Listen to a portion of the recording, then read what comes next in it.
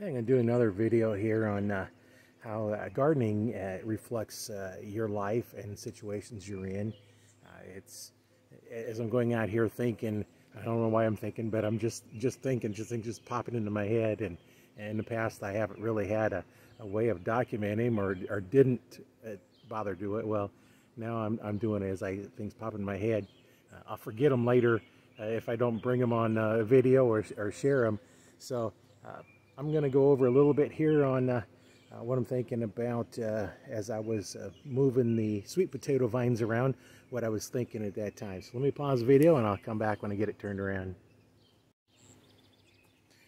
Okay, here, here we have the watermelon plant and it likes to just send the roots out and what I've been doing is trying to weed it and I don't know if you can see but I've been circling it around where it starts. It starts here in the in the middle and then now I've got it wrapping around and kind of the advantage of that is as it wraps around, it's going to shade it and weeds aren't going to start. And, and I did kind of the same thing with some of the sweet potatoes. Uh, they want to just go wherever. So I've been directing them so I have a path down the middle. So as I walk through, I don't step on like this one here. It was eventually wanting to go out over this way. Well, I moved it over this way.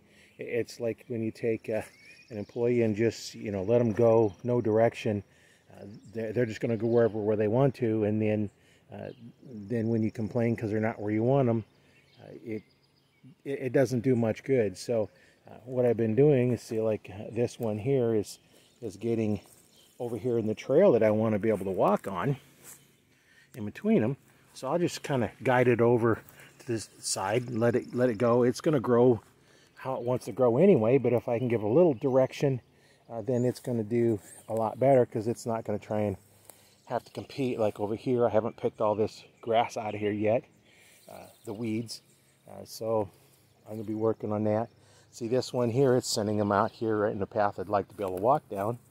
So what I do is take these and just kind of gently move them over, guide, give them guidance of where where they need to go. And, and that's a thing that uh, I, have seen in my career of working for 50 plus years.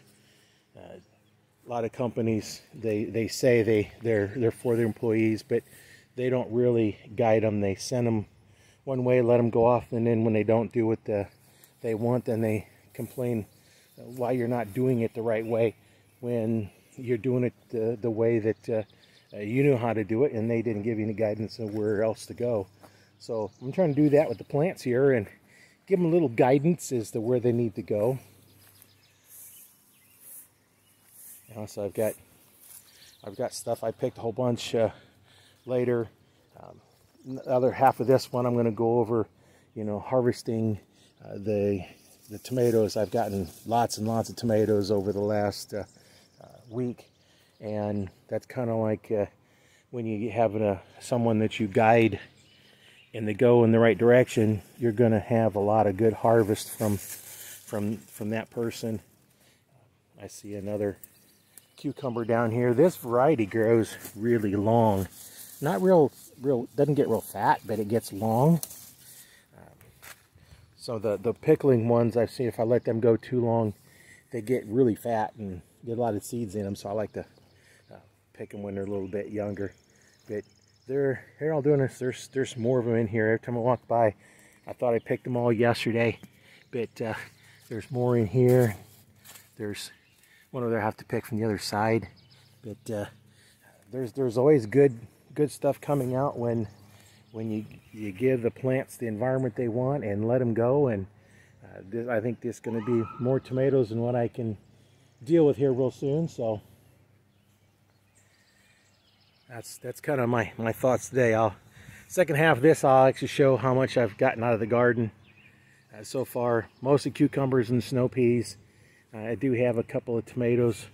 I showed one yesterday, a tomato getting ripe, and then there's another one, and one of the other ones that's starting to get get ripe. I picked a few more weeds in here. I say I got a lot to pick, so get over here and see, get a good view of of that one. You can see that one down there is starting to turn a little yellow on the top, right down here. So it won't be a few more days, and uh, we'll eat our first tomatoes this year. Uh, always like fresh tomatoes. Uh, th this one down here is looking more like what you buy in most of the grocery stores, so it's it's getting getting ready.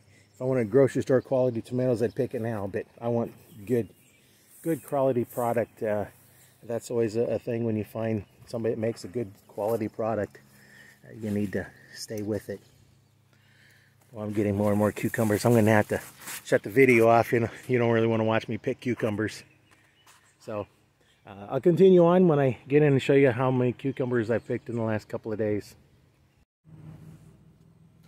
Let me start the harvesting part of this out with showing uh, uh, what I collected on uh, Tuesday after we got back from our, our trip to Denver. And then since then, uh, I've picked all these cucumbers a lot of them here, and and then I did pick some of my beets and some more snow peas. Uh, have a good harvest, and there's lots more flowers on the cucumbers, so I'm going to have a lot more.